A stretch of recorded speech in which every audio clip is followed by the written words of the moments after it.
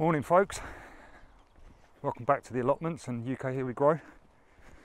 Well, I was up very early this morning, uh, had a little job that I had to do which I never look forward to doing but we've got a massive big old compost bin down the end of the garden and uh, one of the jobs I have to do sort of every six months or so is empty it out because uh, it was rammed this morning, I couldn't get another potato peeling in it if I tried. But uh, so I've emptied it all out. Um, and what I'm going to do with that, it's a little bit early really, I wasn't quite ready for it because my plan for the compost bin um, is to use all of that in the big polytunnel. And I don't know if you guys recall uh, when I changed the, the, layout in it, the soil on where the paths used to be in there, very, very poor. So I'm hoping that this uh, really nice compost that I've uh, made um, is going to help me condition that soil a little bit better. But uh, here you go, I'll spin round, you can have a little look. So trusty old trailer this morning and this is the stuff. So I've got about half a trailer load in there and uh, I need to get it shifted over to the uh, over to the site. And all I'm going to do with it is just put it in a uh, an empty bin that I've got. And then uh, when I'm ready for it I shall dig it all out dig it all into the beds. Uh, the mulch that I've had in there as well um, that's all going to get dug in and then it'll all be ready for planting. And once I've planted it I shall then mulch it Got a couple of other jobs I want to do today as well. Like you guys, I'm sure, you know, it's March, it's coming to the end of March, so it is the sowing month. Um, I'm going to do some sweet corn and I'll show you how I do that uh, in a bit. Anyway, I'm going to get this shifted, cup of tea, and I'll be back. See you in a bit. Okay guys, well that's, uh, that's that little job done and out the way. Right, I'm going to whiz over here and tell you about a plan. Now, all my beds now, apart from one, are dug and finished and prepared, ready for the for the season. So I'm going to spin the camera around. All right, now hopefully you guys can see all of this here. Um, this bed is where I had my potatoes last year, and I did these in the ground. Um, now, what my plan is for this is I'm going to my take on the Three Sisters. Uh, so I'm going to be planting my sweet corn here. I'm going to be planting winter squash and I'm going to be also using uh, some yin yang beans um, which you might remember some of you from ages ago when we done a little competition for those. Uh, so I'm going to pull the camera down so you can get a better look and I'll explain what I'm going to do. It's a bit of a mess at the moment. There's the old compost bin I've uh, just filled up with uh, all the stuff from home. So basically right here on the front edge, uh, in fact if I come around here that'll be easier for you to see. Right, so what I'm going to do is through here, where sort of like the edge of this plastic is, I'm going to dig a quite a deep trench there, and I'm going to pile up and over onto the front edge, so I get quite a big high mound uh, along the front there. Um, there's two reasons for that. That mound is where I'm going to plant all of the squash plants, and the reason I'm planting them in a mound is because um, any of your cucurbits, so uh, squashes, melon, cucumber, pumpkin, all of that sort of family. Um, the roots or the stem where it goes into the ground, they don't like being wet. Okay, and what you can get is sort of stem rot, and basically the plant will just rot away before it keep, you know before it reaches the other end and matures. The other end where it's in the ground rots away. So by banking it up like that, that's going to allow me to have good drainage. Now to water it, I shall fill the trench with water. So every two or three days or so, I'll come up with a few buckets of water and I'll fill the trench. And then by capillary action, the mound will suck up all of that water and, and keep the plants nicely moist uh, as I need them to be. So moving up a little bit further then, from where the trench is going to be back to about sort of here, uh, that is going to be all sweet corn in there. Um, and then each side of each sweet corn plant that I do, I shall put two of the little um, uh, the yin yang beans each side of that and they will grow up each of the sweet corn plants. So they'll they'll act like a, a natural uh, frame for the beans to climb up. The squash now that's got a, a secondary purpose because what I'm going to do with that is from the front of the trench all the way up to the ed up to the, the shed here I'm going to string some string uh, and I'll probably have about seven or eight strings across there um, and the squash, uh, the winter squash will follow that string. It will grab hold of it and it will grow all the way through the sweet corn. Now the good thing about that is that um, the sweet corn will be with the ground around the sweet corn and the beans uh, will be sort of like naturally mulched with a living plant, i.e. the squash. The big broad leaves will prevent the sunlight getting right down to the ground. It should suppress the weeds naturally for me and that means that I won't have to get in there and start weeding it. So from this one bed I should have uh, three crops, sweet corn, winter squashes and some of the pea beans. So on that note, let's go and have a little look at uh, planting up sweet corn. Okay then let's get these sown up. So we're going to do some sweet corn. Now I'm using the, uh, the Deep Cell Haxnicks root trainers. Um, you can get these uh, from Oakland Gardens, which is where we got them from. And for all of the UK Here We Grow members community, they're still doing a discount on these. Uh, we'll, we'll put that in the uh, description below, but it's uh, UK HWG7. So when you get to checkout, put that code in, you'll get 7% off. Um, now, if you haven't got these, all right, don't worry because you can uh, use the, the old tried and tested method of basically putting uh, toilet rolls, fill those up into them, which is quite nice actually. These, these uh, little trays work quite well for holding them all upright and you can sow them that way. The key thing with sweet corn is they don't like the roots being disturbed. So whatever you sow them up in, however you deal with them, you don't really want to be, you know, trying to pop them out of these cells afterwards because it'll disturb the roots and they don't like it. So I'm going to use these. Um, the brilliant thing about these is obviously you've seen these before. You can open them up, gently prise them apart and you can pop your plug plant straight out of there, transplant it into the final growing position and the plants won't even know they've been moved. So, you know, I'm a real big fan of these things. I think they're absolutely excellent. Right, so I'm going to get the compost. And all I've done is this standard compost with about 20% um, worm casts in it because these sweet corn, they're going to be in these for probably the next six to seven weeks, I suppose. Where are we now? We're about third week of March and um, I won't be putting these out until May at least.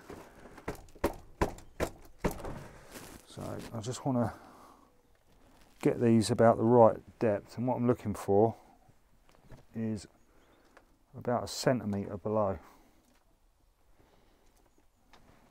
Now, when I done this last year I almost, I think it was only one that didn't germinate out of 60 plants. So in my book that's almost 100% I was well chuffed with that. Right, okay, and I've got a little convenient bit of wood that's about the right size. Just firms these down. Don't want to be too firm, just enough so I can pop a seed in each one.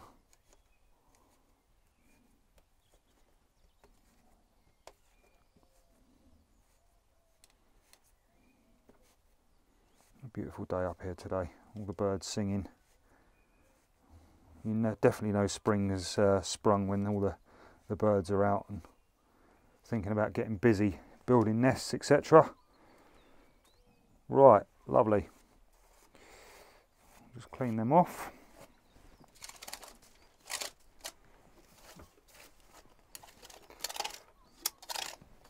Really do that at the end, but never mind. Right. Uh, first one then I'm going to do is uh, a variety called Swift. Uh, unfortunately I think most sweet corn they come as an F1. Uh, I'm yet to find one that isn't F1 so if any of you know of a good variety that's not F1 that I can save seed from uh, I'll be quite keen to see that or hear from you. Um, please put it in the comments below. Um, right, let's get into here. We've got a few seeds in there there's 32 cells in one of these and all I'm going to do is just basically put on just the sweet corn straight in like so. Not going to be too fussy with it, just put them in. That one's no good. Check that they are whole corns as well, not damaged. You don't want damaged ones like that. That's split in half. That's no good. Discard it.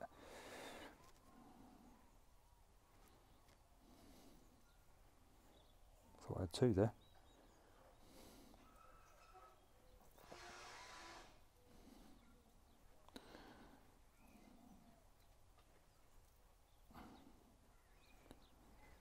do love a bit of sweet corn. I'm really hoping that this uh, Three Sisters method, I've never done it before, so I'm really hoping it's going to uh, do it justice because sweet corn is a very, very hungry plant. They need a lot of goodness and they need quite a bit of nitrogen as well. And the beans growing around those will hopefully extract that nitrogen out of the air, fix it down into the ground via their roots, and that in turn will feed my sweet corn. Okay, so I'm going to keep them ones back. I've got three seeds left over. If I get a misfire on any of these, then I'll just put a new seed in and let it go. Uh, it'll just be a, a, couple of weeks behind the rest. Um, I'm expecting to see these germinate in about four to five days.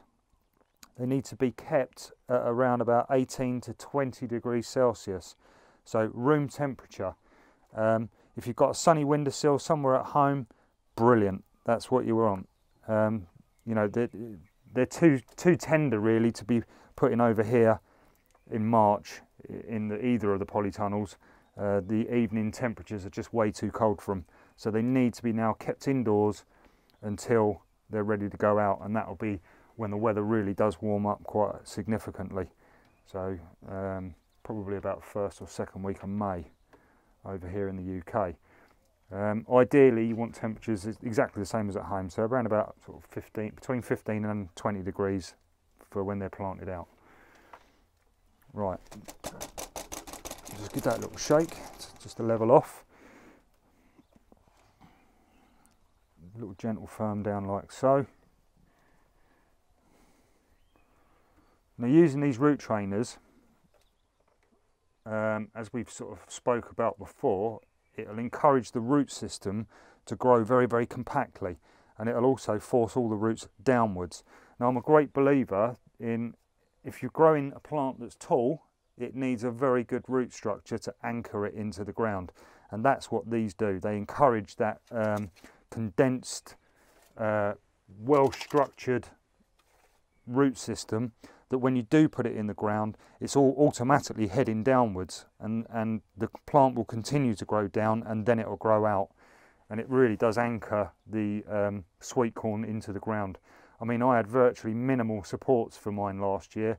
I had fantastic uh, growth rate and the stems were really quite thick. Okay, they're in. Uh, I'm going to give them a bit of a watering in.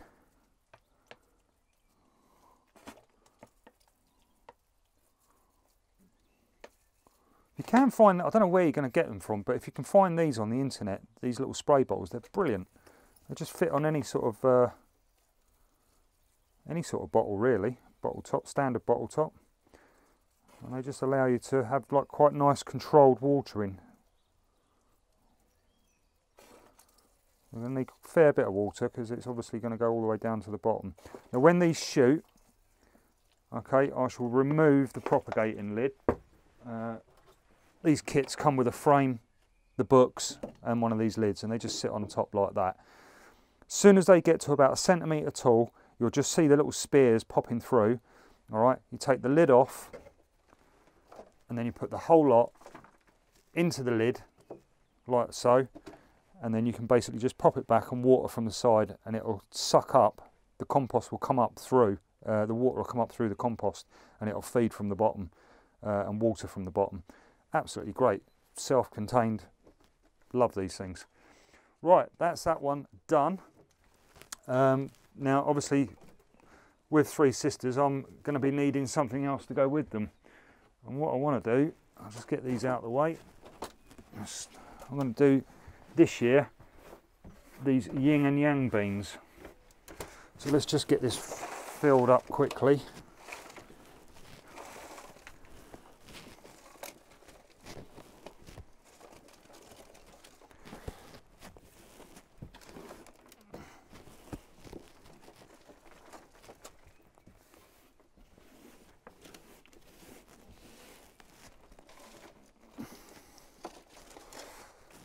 if you don't know about yin and yang beans, they used to be one of the British staples back in, I think, medieval times. So they've been around a long time, but they have fallen out of favour for some reason. People don't seem to grow them anymore. Um, I would suspect it's probably because they're quite fiddly to get out of the pods. Um, you have to wait until the pods are virtually dried out, so they turn yellow.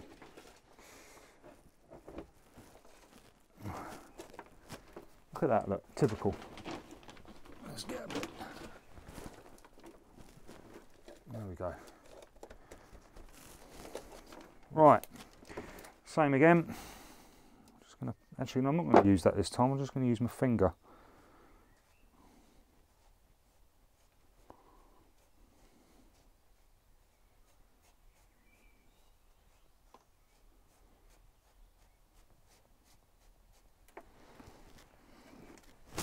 Lovely. And these are what I saved from my own harvest last year. Beautiful looking bean, aren't they? They really are. So one per station, just pop it in. Don't worry about how it falls, it'll find its own way.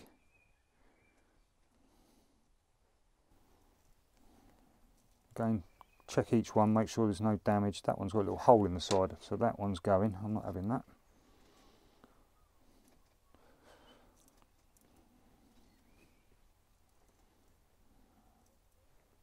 These are great if you, uh, oh, yeah, go. Great if you want to make a, a chili con carne or something like that. You can put these in. They dry really easy. They store brilliantly. Don't ask me what the Latin name is. I can't remember. But they have got a Latin name to them. I'll try and uh, dig it out and Actually, it's on the website, believe it or not. Um, yeah, if you go on the website, visit the gallery, you'll see these little beans on there and the, the name's on there. Talking of the website, um, if you're just new to the channel, we know we've had quite a few of you join us. Uh, welcome. And please do go and visit us on the website, which is www.ukherewegrow.com. Uh, on there, you'll see the newsletter. And if you sign up for the newsletter, you'll get the inside sort of knowledge on everything we're up to, uh, all sorts of stuff, competitions, etc. Um, that sort of thing. It's free. You can unsubscribe at any time, so why not? Right. Just firm those down. Again, these with these, these can be started off. All right. And as long as they're sort of protected, which they will be underneath the little uh, plastic propagating lid, as soon as they've pretty much germinated and established themselves, you can bring them straight over and put them into your unheated greenhouse or polytunnel, wherever. They're, they're, they're a little bit more hardier than the, um, the sweet corn. Right, let's clean that off.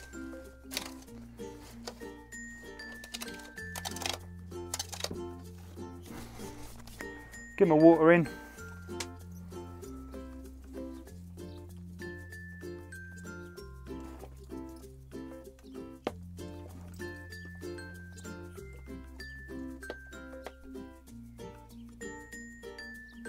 Done. Pea beans, sewn up.